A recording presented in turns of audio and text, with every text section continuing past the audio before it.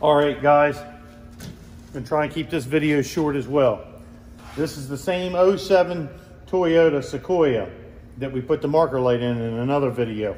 Uh, we're switching it from a regular Delaware license plate to one of the black porcelain ones. These things are really heavy. Um, now, a problem that Toyota is known for is the nuts. They're actually called nutserts.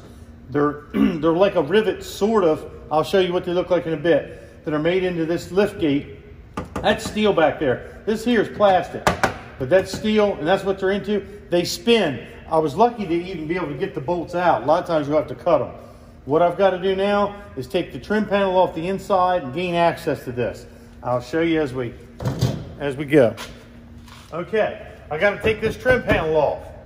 I only need to get to right here, but the way this thing's put together, I've got to start taking it apart all the way up here. Got my trusty red handle clip tool.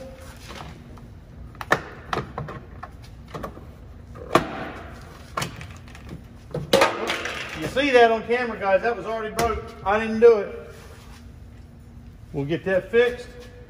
Actually, it just, a couple of the clips fell out. But it had been like that. Okay. Now there's a bolt under here I'm going to have to take out. There's a 10 millimeter bolt right here. Take that out. Got my red handle clip tool again. I think we're going to have to start down here.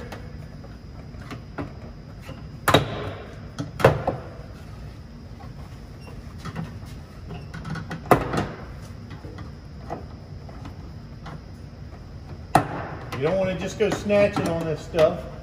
This thing's got some age to it now. Okay? And then it pushes up. There we go. It pushes up, guys, because that rear window goes up and down in this thing, and that's a weather strip. And uh, it tucks down in there. Okay. I have had more of these Toyota tailgates apart than I care to think about. Now what I've got the trim panel off, I've got to take this access panel off. And you see all these wires that go to it? Uh, another problem with these things is these back windows malfunction a lot. These are 10 millimeter screws.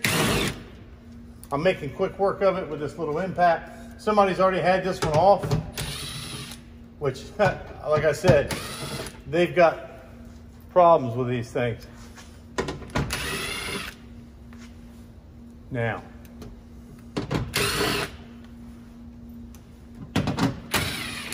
now there is a couple push clips that hold it in place just for like manufacturing and for doing what I just did.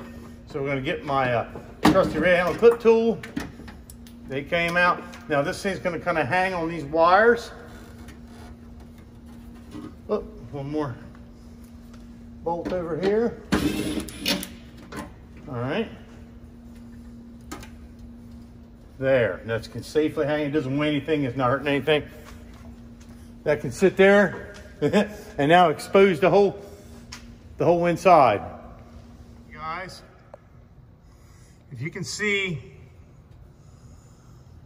that is the lock cylinder, right? I'm gonna try and point to it. That thing right there is the lock cylinder lock cylinder mean the key, the lock. And if you can tell, try and get this phone to focus here, there's a 10 millimeter nut that's got to come off in order to get, get to what we need to. Now, if you remember, what we're trying to do is trying to get, let me move this around, we're trying to get this off. So, it's held on is this, they're not bolts, they're push clips, they're heavy duty. That's why we had to take this cover off here. That's why we had to take this whole cover off. I've got to squeeze these together with a pair of pliers or my fingers and push this, push them out. Um, I really can't film it and you won't really need to see it. After I get it out, I'll show it to you. It makes sense. Okay. This is the pocket, uh, the license plate pocket. That's what I'm going to call it. Um, let me get right down here. You can see See those clips? What I had to do was, you had to squeeze them together, and I used, what else, but my trusty red handle clip tool to squeeze those together. Now, they came right through. Now, let me find an easy one to see. That hole there, that's one, that's one. I couldn't film getting them out because you, you wouldn't have been able to see anything but my hands. There's one. That's where the lock came through. And then um, I had, the only thing wire-wise is I had to undo the pigtail. This is called a pigtail.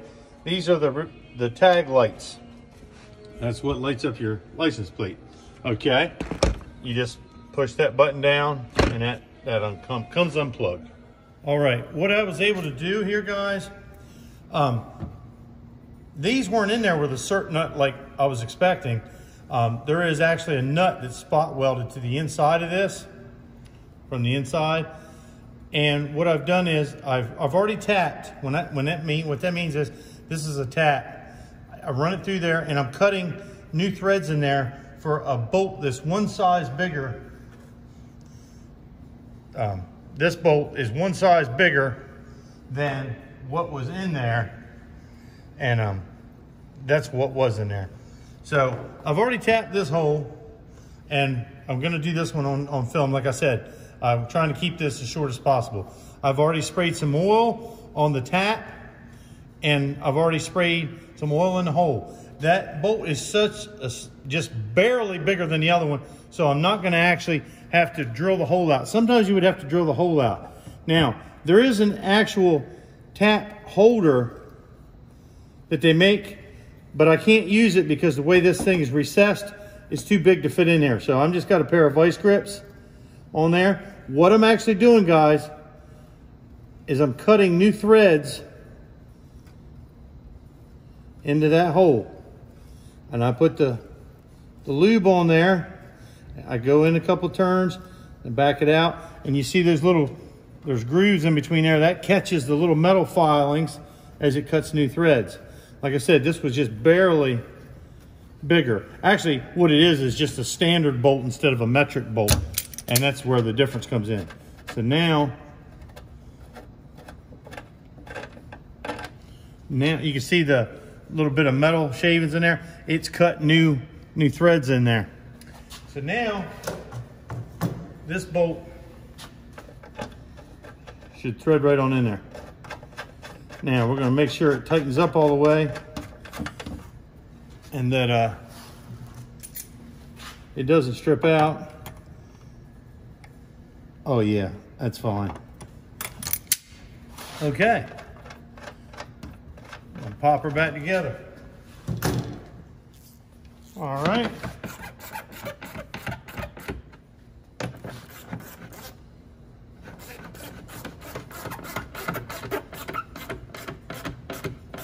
There we go. I'm gonna loosen this one back up. See, kind of twisted that rubber a little bit there. Tell you what I'm gonna do. I'm gonna squirt a little bit of WD-40 behind it so it doesn't um, so it doesn't roll that thing up real quick. I'm gonna take a second here. There we go.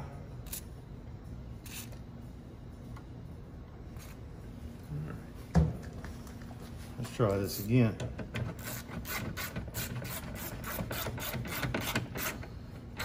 There we go.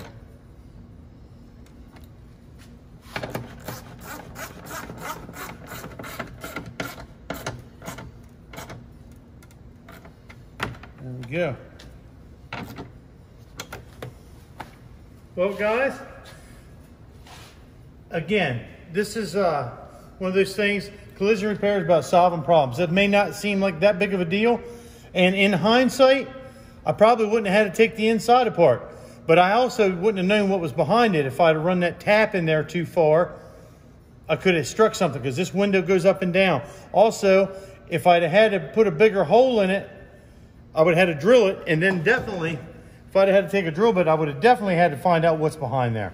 So, again, just another little project of stuff we do in here, and um, hope you enjoyed it and learned a little something from it.